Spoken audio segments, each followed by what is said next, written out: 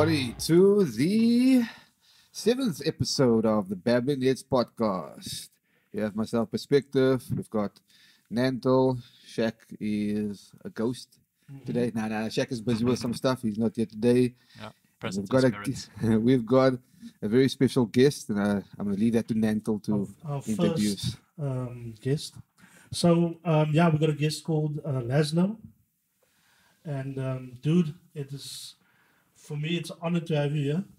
Um, I know I spoke to you about the podcast and I did the idea for for for some time, and Mm. you've always been the first one that I've wanted to be on the on the on the um, on the podcast. I appreciate that. Reason being, um,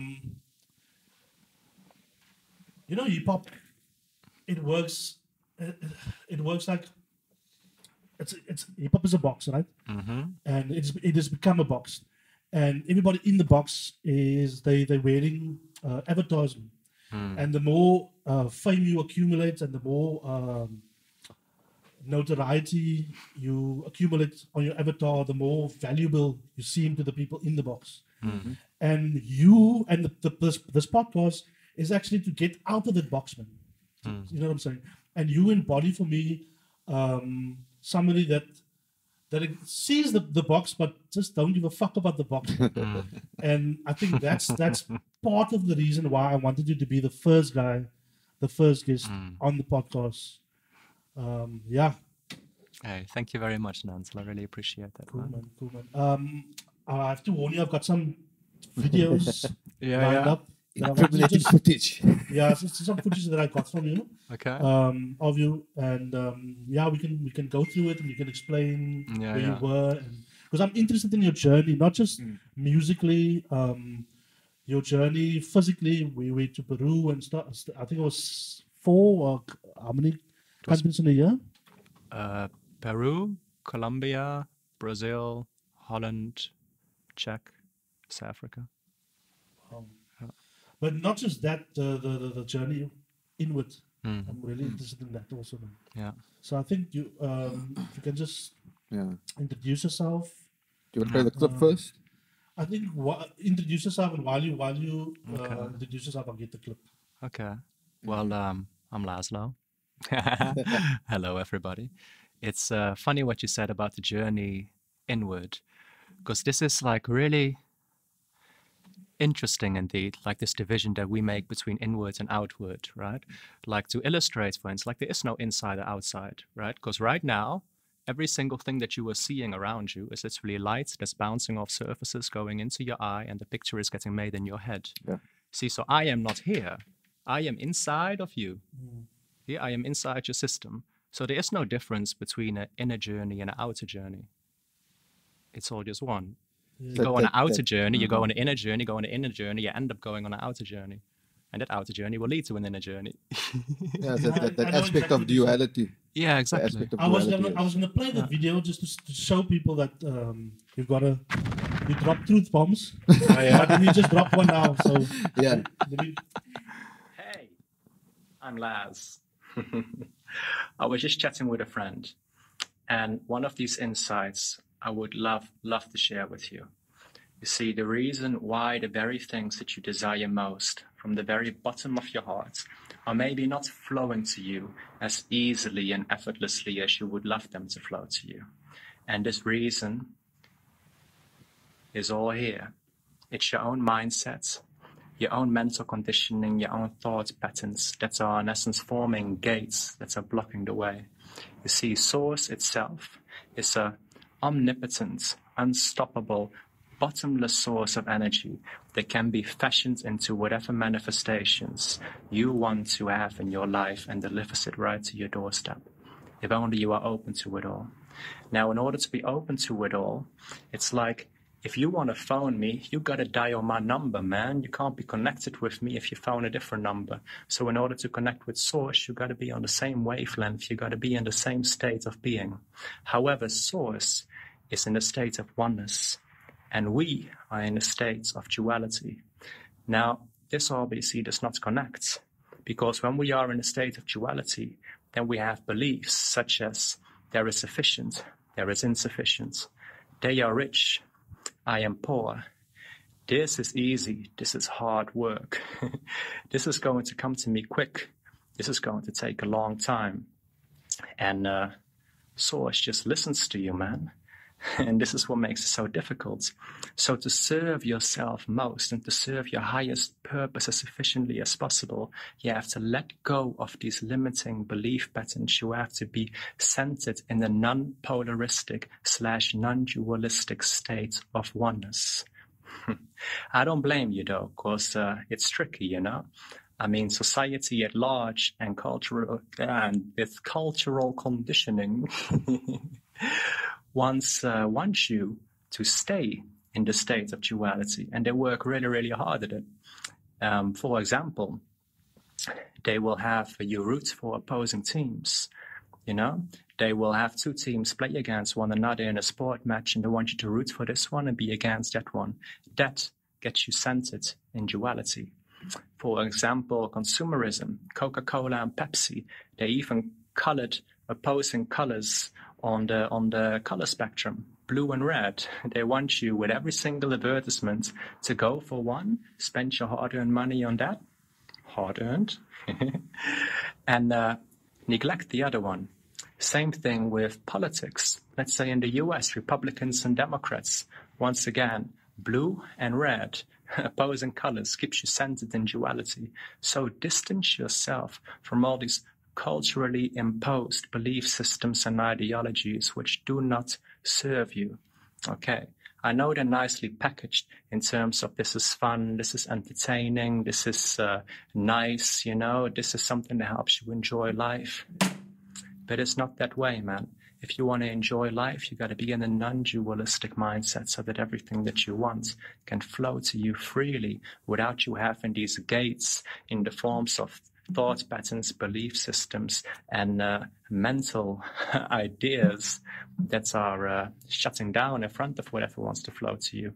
You just gotta be, man. You just gotta be and let it come to you.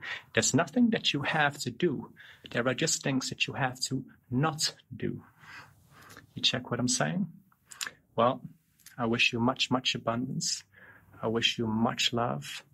Be centered, non polarity. Be centered in oneness. Be one with all. And the one will send everything to the one.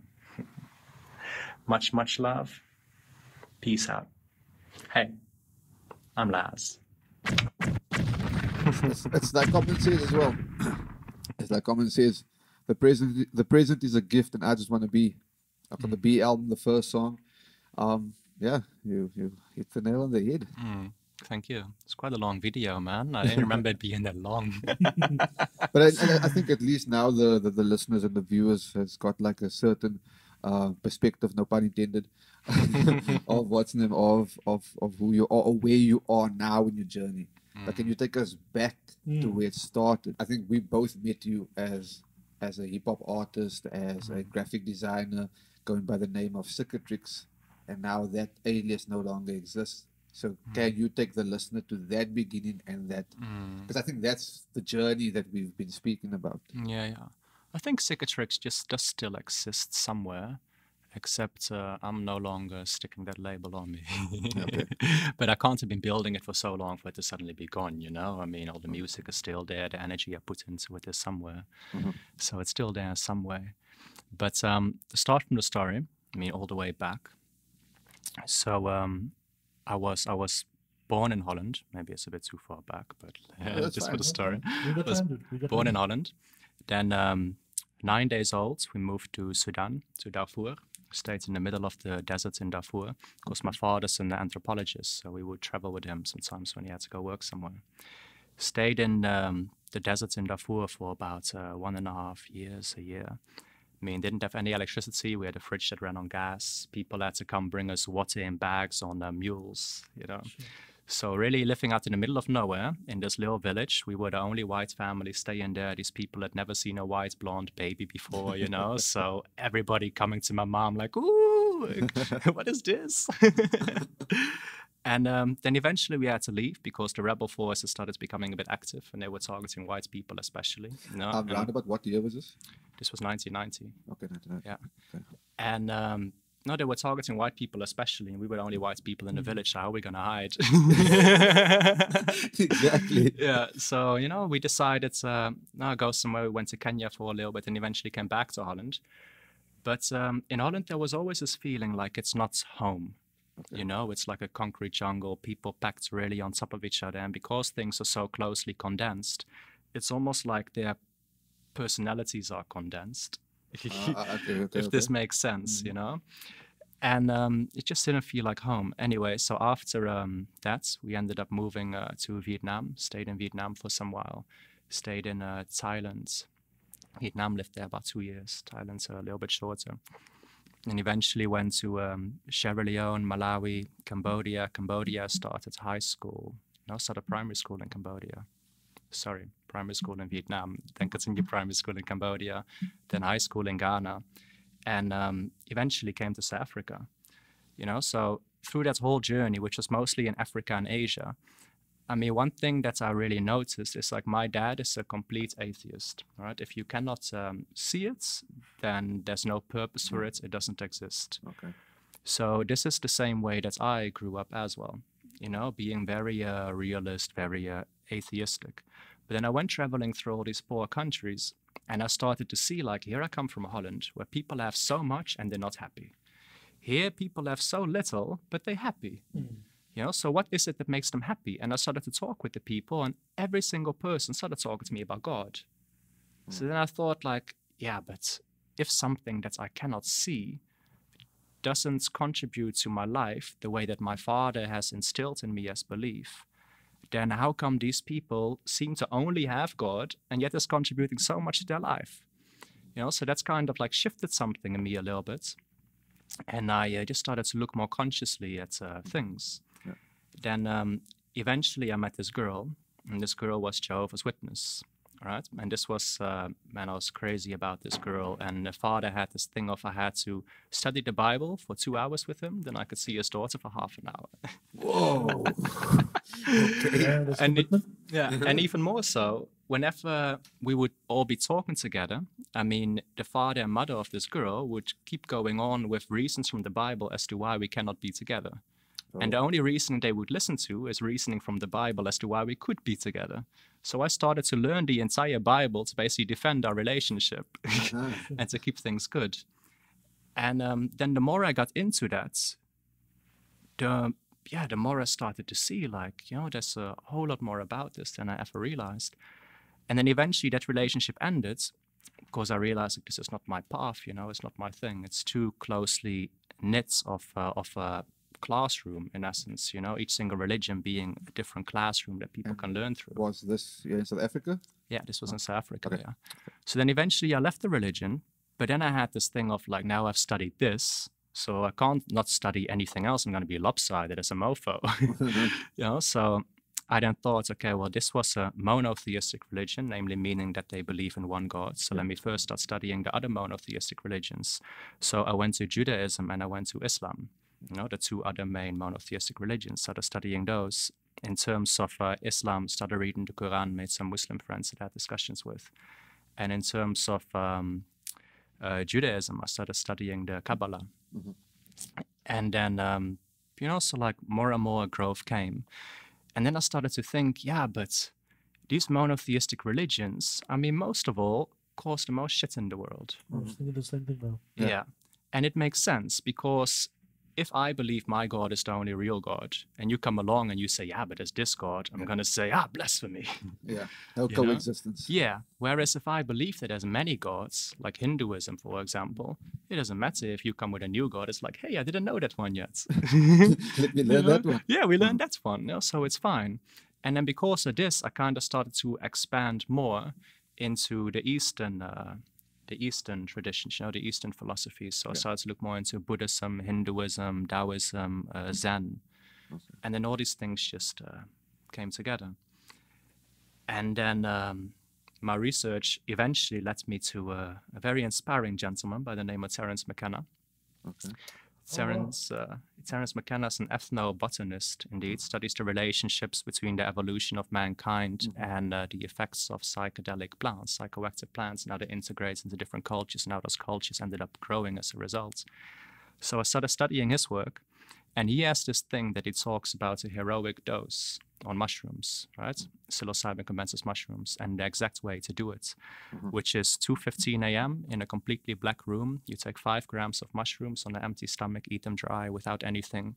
You have joints lined up. Then at 3 a.m. you start smoking weed like crazy, and then the weed causes the psilocybin to be set off, and you go. Poof. Isn't that like the God hour as well? Like what they refer to as the God hour. Yeah, yeah. In essence, the barrier between Earth and the cosmos is the thinnest.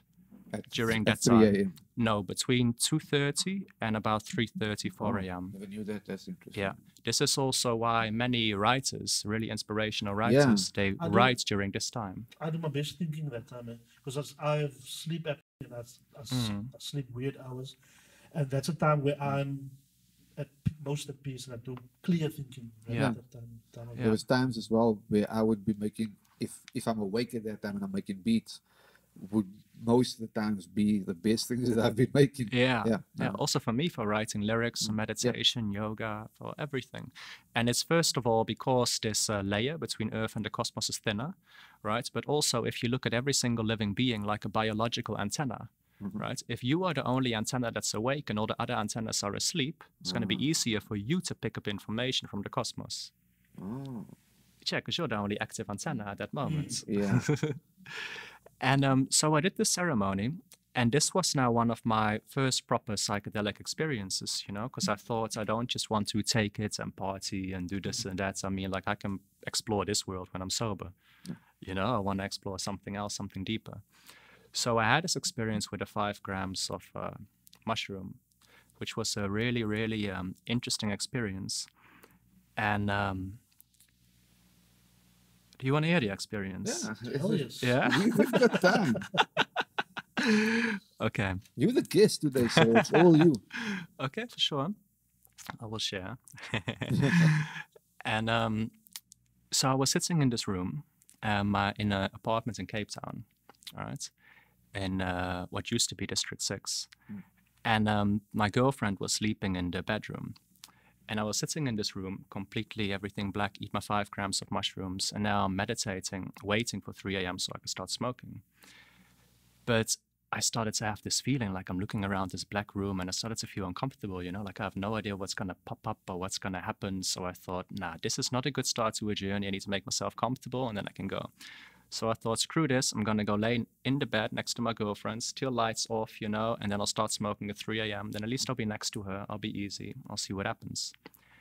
So I uh, did this. And 3 a.m. came, you know, started smoking, went back into meditation after smoking. And since I've been a kid, what happens when I focus is there's a, a black screen, everything is black. Then I kind of see like spots coming together, and eventually these different color spots come together in a coherent vision. So it's either like a place or a person, but usually it's a whole scene with people included. And um, I was expecting the same thing to happen, but instead, I mean, especially because I'm on mushrooms, you know, I thought the same thing would happen, just more hectic. Yeah. And instead, there was just this completely dark, this darkness, not even like black, but like a black ink.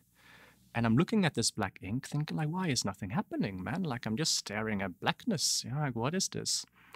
And eventually, these two drops, they fall in this black ink, like uh, almost like this clear, light blue, gooey liquid that's dropping in ink. Two drops, bloop bloop. And as they drop, they stay in place. They start to come closer and closer to me. Was this an open uh, eye experience or were we? This was still close eye. Close Okay. eye. And they come closer and closer to me. They turn into lines.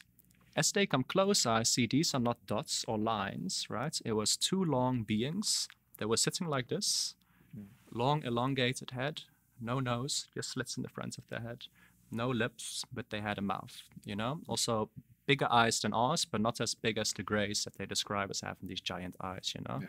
Like a gray, light bluish skin, really long, slender bodies, and they're sitting on these chairs, floating chairs with really big backrest and solid armrests on the side. And they're sitting and they flow up to me, and I notice these beings are glowing, right? Hence why from far away it just looked like two lines coming towards me because this light was blinding me. And uh, as soon as I realize I'm chilling with these two beings, they say to me, We've been waiting for these events to aspire, we've got something to show you, right? And the first thing I think is, like, what are you going to show me? I don't want to die. and before I even finish this thought, they say to me, don't worry, you're not going to die. You know, and this communication that's happening is taking place. I suppose telepathically is the best word you can use to describe it because they weren't moving, I wasn't moving, but I could feel their thoughts coming into my Mm. mind, being translated into what I could understand. There was no speech. There so was no say. speech Mm. at all, no. But it was also not direct communication in terms of them putting English thoughts into my head. Yeah. They were sending me signals, my brain translated to English, and so I understood. Okay. And um, as soon as, uh, so they told me, you know, it's okay, you're not going to die, you're going to be all right. Now, the next thing that I'm thinking is, well, but now uh, will I be back? Even if I don't die, I still want to be back. They say, don't worry, you'll be back. You can tell your girl that you're leaving now, or you can tell her when you're back, you know, whatever you feel. Now I'm thinking, okay, I at least got to tell my girlfriend I'm going to go somewhere. Just now she wakes up, she sees me passed out, I'm not replying, you know, like she's going to start panicking. But then I think, if I open my eyes now, am I going to come back to this deep space that I'm in? Yeah. Right? And they said, don't worry, don't worry, open your eyes, you'll be back here. And this was so striking. I closed my eyes and I saw them. When I opened my eyes, I was completely sober in my room. The curtains weren't waving, no patterns, no nothing, just completely sober on five grams of shrooms. So just stop with you. I want to get back to that point, but hmm continue. I just just remind me. I've got something to ask you about that. Okay, for sure. And um, I like I sit there and I open and close my eyes like a few times, you know, just mesmerized experience. Because I mean, I close my eyes, it's ink with these two blue beings floating, and I open my eyes and I'm in the room feeling completely sober, you know, literally. Tuk, tuk, tuk, tuk, Yeah. tuk. And um, so I, I not tap my girlfriend. I tell her, look, there's these two beings here. They say uh, they have something to show me. So I'm gonna go somewhere. You know, don't panic. I'll be back. I'm just letting you know so that if you try to wake me or something, I'm out. Like I'm not here.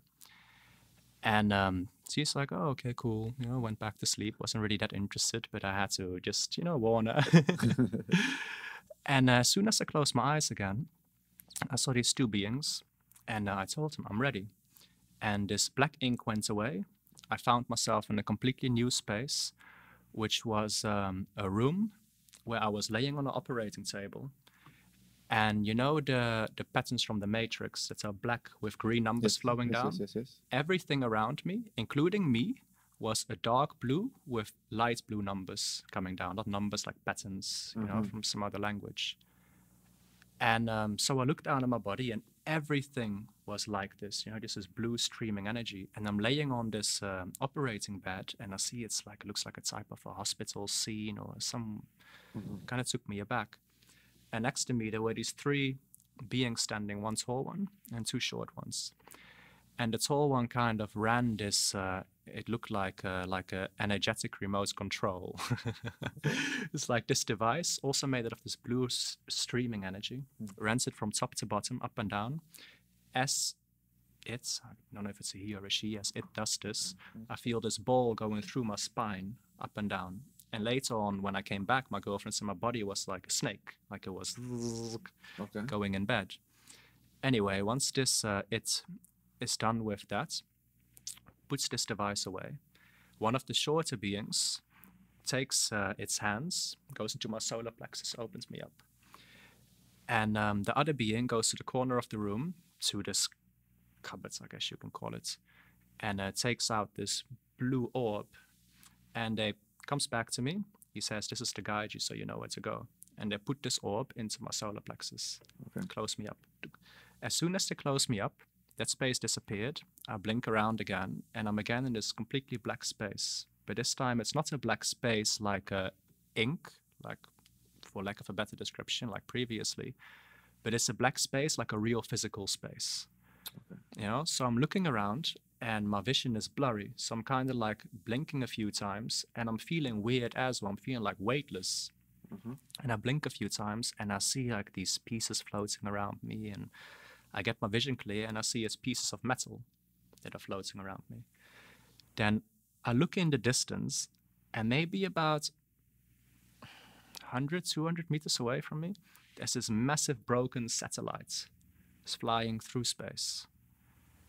And then I look down well, you can't call it down because you're in space. So there's no down, up, Yeah. left, right. It's just okay. I looked at my feet, Okay, yeah. and I noticed this long purple cord going from my chest down to Earth to South Africa, book, So you had an astral projection. into my head. Yeah, exactly. And once I realized that, like I'm in space, this is where it really started to get interesting. Because once I was in space, I um, got drawn into this other space. And for my feeling, I was there for two weeks. Like time just But, became. zook. But time doesn't exist in that. Ex- yeah, like as we know it. Yeah, So two weeks would be two seconds. exactly. It Yeah. could be. I was there for two weeks, and I was at this time. I just called him a blue guy. I had no Okay. idea who this guy was. I mm-hmm. just said I was there talking with this blue guy, right, in this void for two weeks, and he was teaching me all this stuff. You know, just conveying information, downloading stuff into my mind, into my system. And whilst I was there, right, before I uh, started this whole trip, I set up all my recording equipment at home because I thought if I want to say something or I need to like register something, then at least my mic is standing there. I don't need to wake up, write down. I can just speak while I'm in this trance and I'll listen to it back when I'm back here. So I had everything set up. Now, whilst I was in that space talking to the blue guy, right, a different being came into my body and recorded two hours of audio on this laptop. I was ask now. Like, if you are having an out of body experience, so to say, Mhm. astral projection, um, and you're having these beings or energy speaking to you, um, and you're supposed to be in a certain level of sleep, how are you then speaking? But okay, it kind of like answered the question because I was going to ask now, like, how does that happen? Yeah. But okay, Yeah, but you can speak on many different levels, man. You know, I mean, we have the physical level, the astral level, mental level, emotional level, etheric level, and then you have the causal level, and then above mm-hmm. all of that, the source. Yeah. You know, all of these are different dimensions that we exist on, and on each single dimension, you can speak.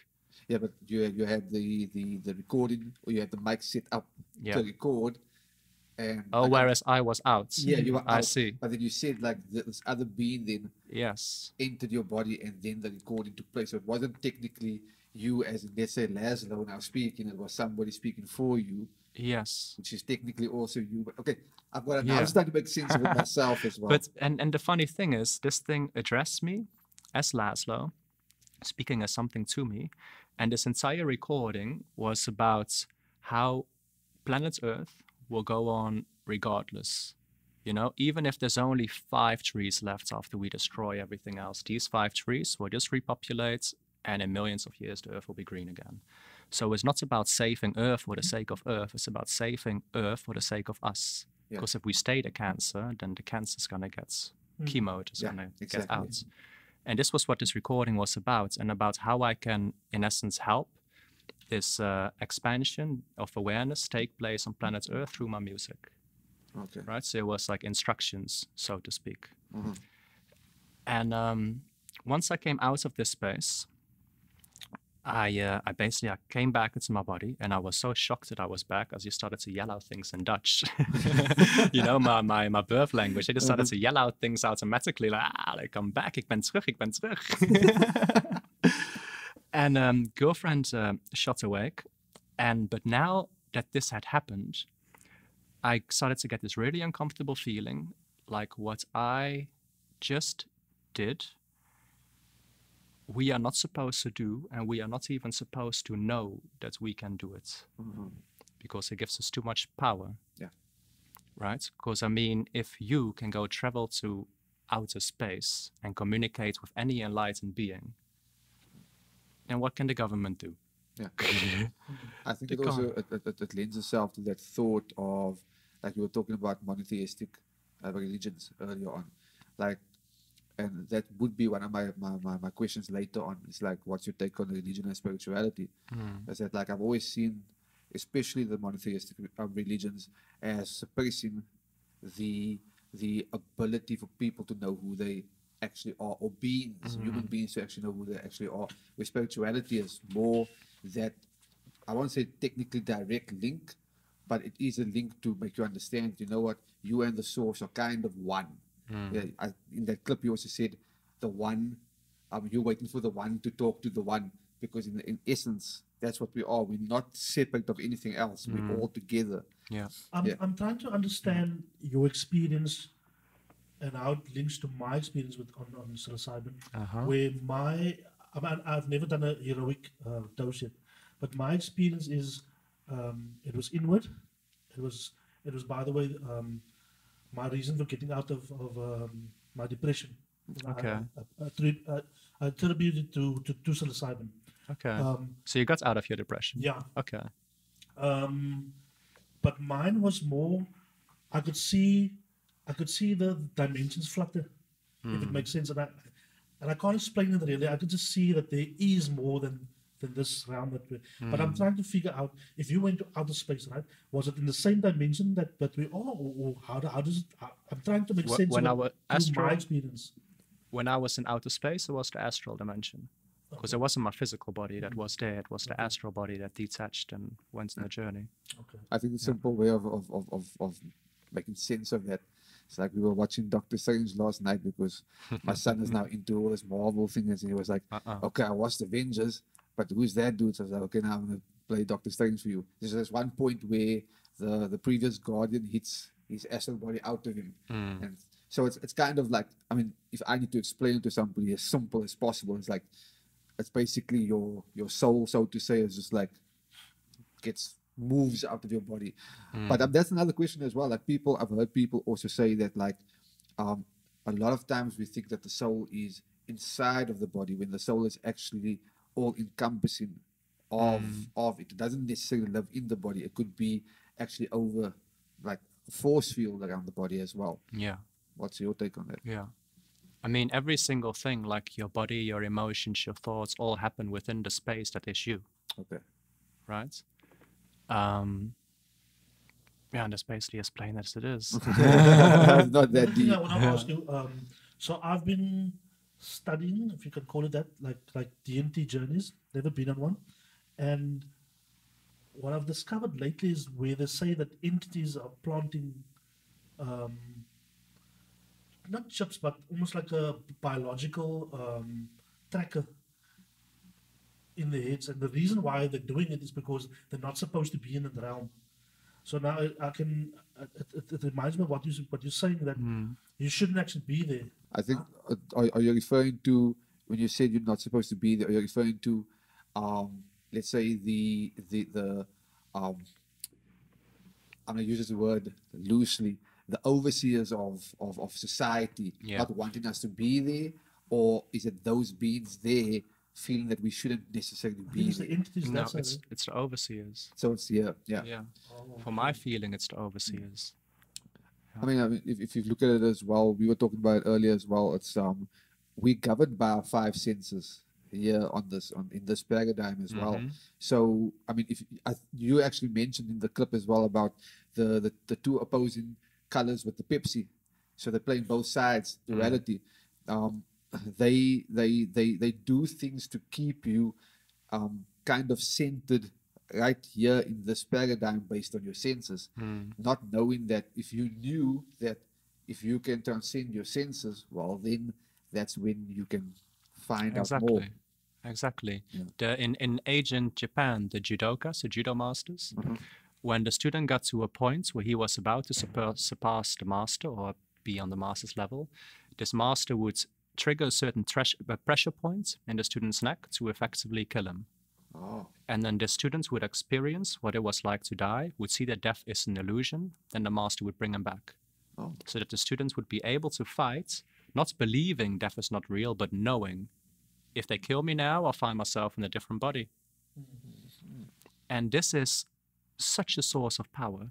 Because in our culture, the taboo that we have made out of death is what limits everything. means so many of our fears come forth from this primal urge of death. Even your entire fight or flight response is from this fear of death. So if there is no fear of death, you can be still. yeah. I think also like I, I, I read it somewhere as well that like when when when kids are born, they don't know that they're gonna die. Mm. Yeah, there's this this basically two fears that they have: not being left alone and falling. Mm. So they don't know that they're gonna die. We end up telling them that, like, you know, oh, you are going to, you know, your life is gonna come to an end. Now imagine you don't tell somebody that. Like, how different won't their perception of Yeah. reality be? It's like Siddhartha. Oh, Like who? Siddhartha is the prince who became the who we now know as the Gautama Buddha. Okay. His father was a prince. And before Siddhartha got born, this priest told his father, Look, your son will be born, and he'll either be a great king or he'll be a great holy man. Mhm. And his father, obviously being a king, thought like, I don't want my son to be a damn holy man. you know, I want him to be a king also. So Siddhartha's father shielded him from every single thing that could stir up some sort of spiritual appetites, including that he didn't let his son know about death, didn't let his son have contact with anything related to death, anything related to illness. See, until one day, Siddhartha got out of the palace himself and he saw that people are sick, people are dying. And then he realized, hey, but this is going to happen to me.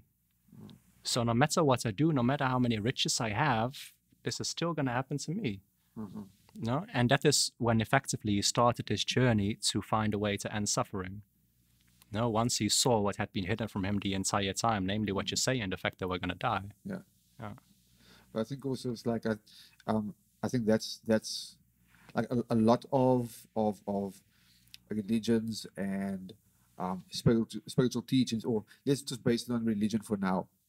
Um, a lot is made up about like you know um, the dying part and heaven and so forth and so forth, but also trying to atone for what your your shortcomings while you're here. And I think that's what has always intrigued me then about Egyptian mythology, because they were like, look, we can see what's happening here. We want to know what's happening after we die. Hmm. Like the whole thing was after you die, what hmm. happens then? Because we can, over the eons, we've had people answer, and we, we, we- we're still learning things about this planet and about our existence right now. But over the eons, people have kind of explained like what life is. Hmm. Nobody can explain what death is, or what happens after, or the perception of what death is. So I've been very intrigued by is um Egyptian mythology with that concerned. Yeah. I haven't gotten too much into Egyptian mythology myself, Mm. but it's very interesting. Yeah. I find it really interesting as well. People always wonder about what happens when you, after you die, Yeah. but never what happened before you were born. Yeah. It's really interesting, yeah. Because yeah, it's weird. there's- It's really there's- weird. there's- there's Whereas the- it's the same thing. Yeah, because there's there's the the notion or the thought that like when you die, the light that you see is the light that you see when you're being born. Like that's that's the um the notion. Yeah, Yeah. Like the light you see is basically the next vagina you're coming out yeah, of. yeah. That's that's what they say. I f- Yeah, I find it weird that we, even we as humanity, we don't really know our history or, or like um, a solid proof as to where humanity started from. Yeah. That's why the the the, the, um, the Sphinx and all that fascinates us because we we, we, we don't have a clue what, what's happening in this realm, Yeah. let alone what happened before we enter this realm. Yeah. Yeah. It's always Yeah. like the unexplainable, man. Like like um with the Sphinx and, and the pyramids, for instance. It's like, you know, they want to say like it's it was beings from outer space, or they will say like, okay, it was the Egyptians themselves that were of a higher level at that time. Um, but they can't explain exactly how it was made, why it was made, all those things. Um, yeah, and and there's there's unexplainable Yeah. stuff. But I think it's also it's purposely kept away. I think it's, it comes down to that um that overseers thing that we just spoke about. It's, it's purposely kept away Yeah. because if you've got like how much billion people are we on this planet now? About Six, seven, six, seven billion. eight, maybe. Yeah. Maybe 15. Could be. So last time I saw like four billion, but yeah. So so where like how do you keep all those people in check? Uh, You know, it's that simple. That's how I look at it. It's like if we, like you're saying, if you can effortlessly travel out there to space, and like I mean, if you can do that, then what more can't you do? Do, you, do you know that the the um, I think it's the U.S. government is um, pro- they've got um, patients and they're prolonging the DMT uh, uh, experience to study and map it. Okay. you're talking about uh, Dr. Strassman. I'm not I'm not actually sure. I, th- I think it's happening in the states or it's happening. I think it's Cambridge.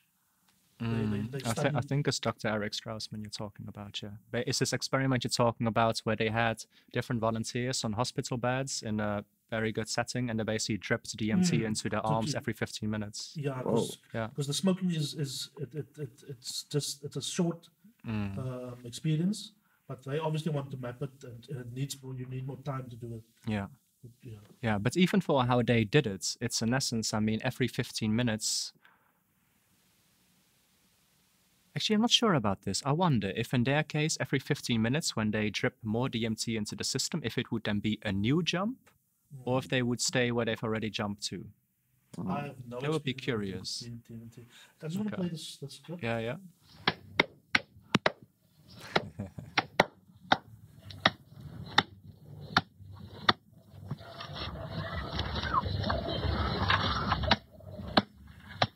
Oh yeah, I saw this clip.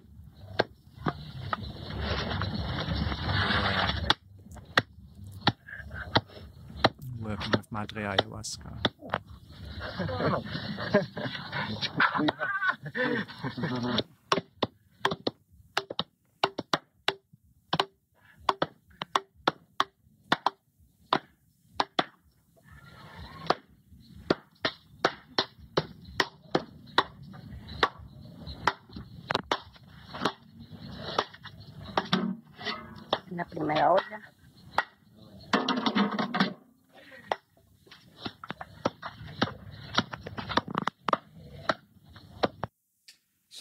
When I saw that one um, the first time, I was studying it, uh, could say studying it, um, what ayahuasca and DMT, and I was damn jealous, dude. Living, yeah. So, so I've only experienced like like a not a real heroic, but a, like a decent amount of um, dose of, of, of psilocybin.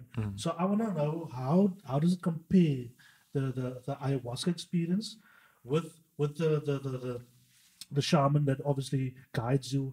Because I remember I said uh, on one of the Facebook groups, I said, guys, um, can you experience this at home, or do you have to go to to to, to Peru and stuff like that? And I think you you mentioned it, dude. It's not something that you just do at home. It's like a whole journey. It's a process. You prepare yourself. Yeah. You have to you have to um, eat a certain way for five days. I think it's a certain diet you need to follow. So just take me for somebody that's that's got no experience in, in, in that. How does it compare? If it can be compared, how does that work? Mm, well, first of all, the quality is very, very differently. Like um, mushrooms to me are a bit mischievous because mushrooms feel like a person, but you always have to remember they're not a person. You know, it feels like they have this personality, but the personality can switch instantly. You know, like mushrooms, for instance, will convince you that something is true, even when it's not, because you need to believe that is true to learn what you have to learn.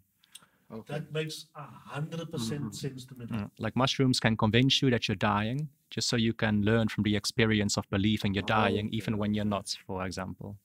Right? Whereas with ayahuasca, it's uh, it doesn't feel like her personality changes. You know, it stays this loving mother. Hmm. And she will always act from the point of view of a loving mother, where if you are an egotistical child and you don't want to listen to the mother, then she'll have to slap you around so that you can come along with her. Whereas if you are easy, humble child, there's no reason for the mother to slap you around. She'll take you by the hand and teach you. Okay. And this is something that I experienced very strongly on ayahuasca, especially it was like my, my fourth or fifth ceremony in Peru with this lady that's making the ayahuasca in, in the video, Selena. She was my shaman there. And um, I was really, really nervous before this particular ceremony, you know, I just had this feeling of like being scared. And um, I drank the ayahuasca. And when she started to present herself to me, she just opened her arms, she took me into her heart, and she asked me, Boy, why are you afraid of your mother? And all this fear just went away. Wow. It went away completely. Because it's li- like I say, like the personality of ayahuasca is the mother. Hence why they call her Madre Ayahuasca. Okay. No personality of San Pedro, for instance, is uh, like Huachuma, as they call it, is the father. You know, and these personalities will always stay consistent. Whereas with the mushroom, the personality, like you think you know it, and then it's suddenly something different. Okay. You know, so it's uh, mischievous in that sense, I suppose. But and then like this whole process that you uh, that they recommend for uh, ayahuasca. In essence, with ayahuasca, you do have to be more careful because I mean ayahuasca has I mean it's combination between chacruna, which is the DMT shrub that grows in the bottom of the jungle floor, and the Banisteriopsis caapi vine, which is the vine that grows about 20, 30 meters in the top canopy of the jungle. Right? And um, what the Banisteriopsis caapi vine does, it contains uh, monoamine oxidase inhibitors, which basically inhibits the function of your body to process the DMT as quick. So what would otherwise be a 15 minute trip if you smoke DMT on ayahuasca is like four to eight hours, depending on how you breathe and your breathing work. If you combine holotropic breathing with ayahuasca, you can make it last like eight, nine hours, really, really long. And you stay in that zone for a long time. But um, because it has these monoamino oxidase inhibitors in it, it in essence changes your biology of your body. So there's a lot of things that your system is not able to process anymore. For instance, foods that is too fermented, foods that have a lot of tyramine in it, which for example is cacao uh, and Brazil nuts, and um, yeah, there's just a few different things Oh, you I really need to watch. So, so the reason why going on a diet, for five days, um, Well, it's, it's more than five. Five days, what they say for the tourists, Oh, yeah, because the It's, tourists. it's actually for, for it to work properly through to, to I don't- I don't- Yeah, it is firstly for it to work properly, but secondly, the point that I just made is that you don't want to put your system in a state where you cannot process certain stuff and you can literally make yourself sick because if you have too much tyramine in your system, you start to get headaches and you I know, think- and you cannot process the tyramine. Yeah, I think that's with any plant-based medication as well. It's like the will, like I've heard people say, some herbalists actually say that if you've got a whole lot of junk in your body, so to say, Mhm. then you might f- um, feel sick before you actually start Yeah. feeling better. Yeah. Yeah. Yeah, and that's it also that every single thing about your system, not even with ayahuasca, but your system in general, is about purity.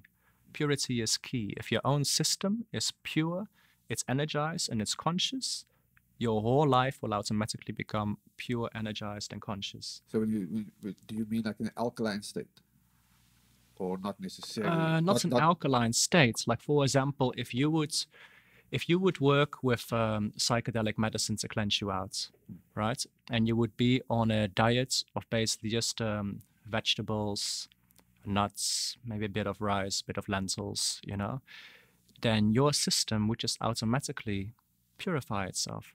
And this is the thing that people don't understand. A lot of people that in life you attract to yourself what is inside of you. You see, every single thing in life, since everything is energy, vibrates on a certain frequency, right?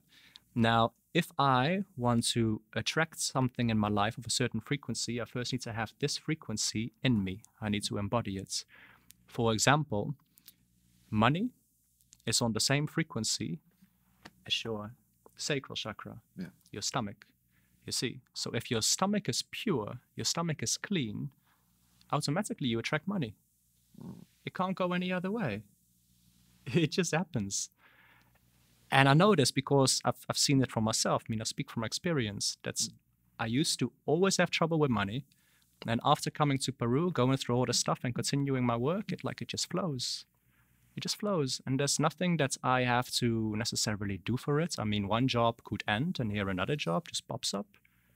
You know, it just That's- happens that way. It's funny you say that because you know, like, like in our communities, we always hear the the phrase that like money is the root of all evil and all this stuff. You know that that that type of um, mentality. And I was speaking to a friend of mine that now lives in London, and I know if, if we we heard about or if he watched um, something on YouTube, and he said like this person was speaking about money having an energy. So like like you just spoke now, and this person likened it to the sense of money is showing appreciation. So you're not buying something for the sake of like, or when you are buying something, you're paying, you're paying the person that made it as appreciation. Like I appreciate that you made this, and now I accept that. But we don't look at it like that.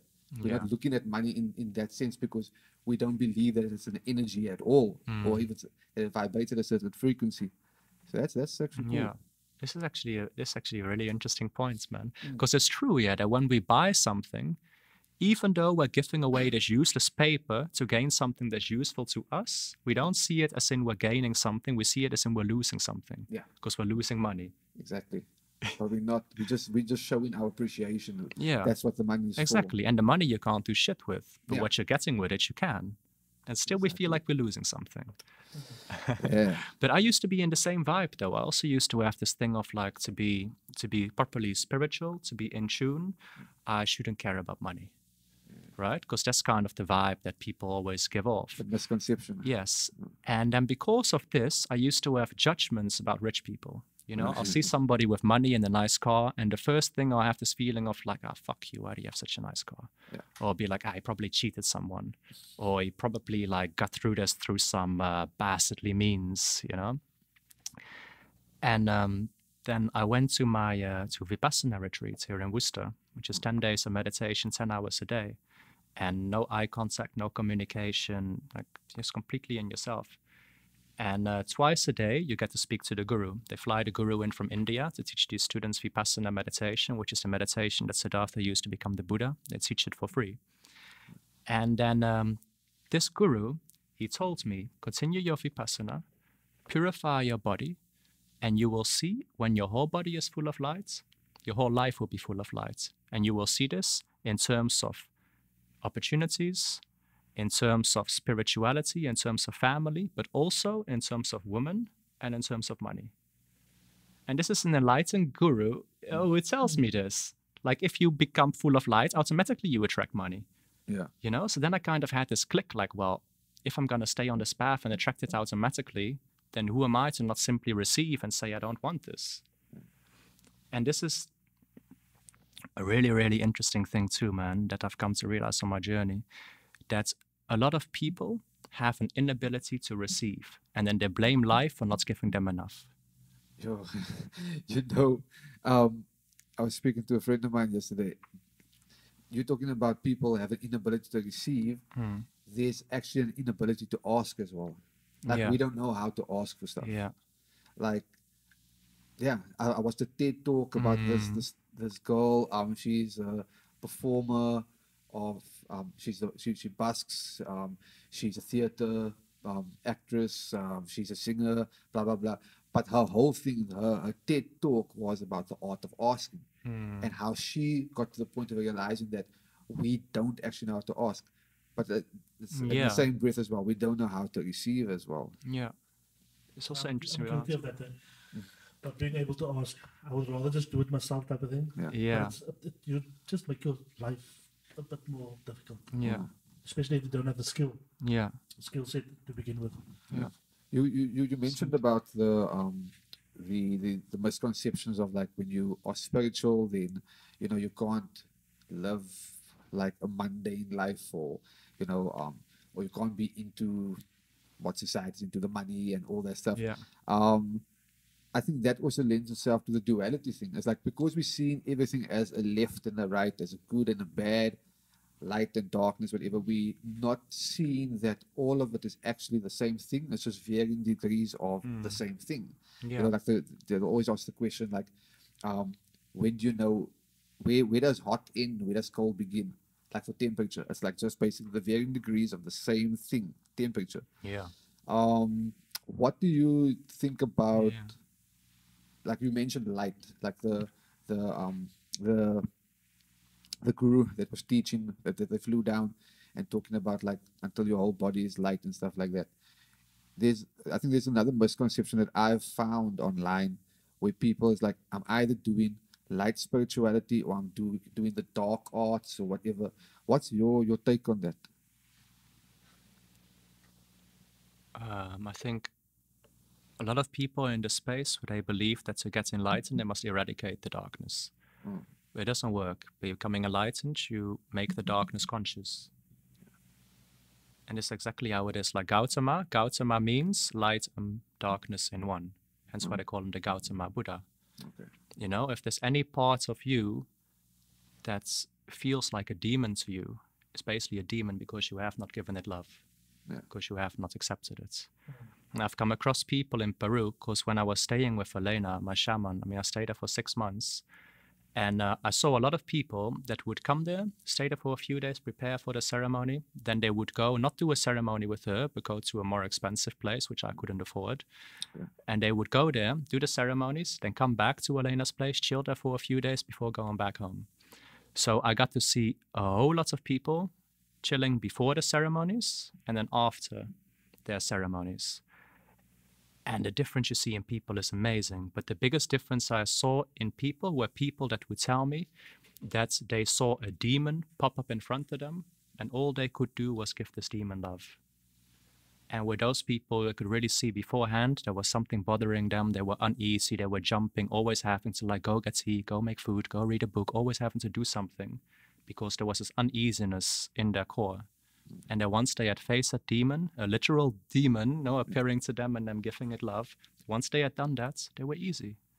Of course, it's self acceptance. That's Can I just mention that that makes sense to me because when I went through my depression, eh, a lot of people just said, um, just be positive. Where where I try to to, to, to, to to tell them, dude, it's it's not that it's easier said than done because it's almost like your body, refi- like like I would say, um, let me think of something positive. Your body doesn't allow you, your brain doesn't allow you to. You know what I'm saying? So an assignment blockages. was was was vital for me to get out of it because it was I can't really explain it, but it was like you need to accept the, the, the darkness and realize that yeah. everything everything like say say say you come out of the depression. It's not like every day is gonna be just a positive day.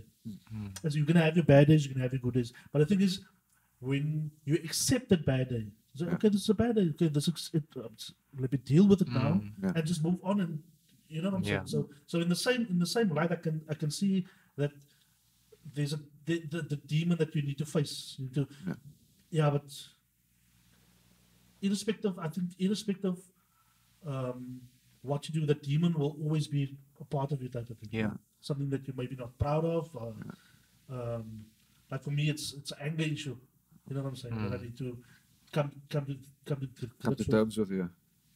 Yeah. Yeah, it's like what's name is like um when I touch on the, the demon thing as well, but like I also suffer from depression as well as well for the longest time.